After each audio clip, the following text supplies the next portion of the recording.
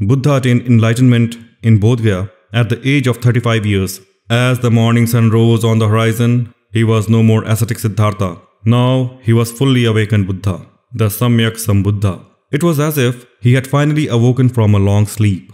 After attaining enlightenment, the first words that Buddha said were, I have taken several births and was in vain searching for the creator of the house. But finally, through enlightenment, I have seen the builder of the house. The enlightenment has broken the rafters and walls of the house, and this house cannot be rebuilt again for me. For me, there are no more desires and no more of birth. I have attained nirvana.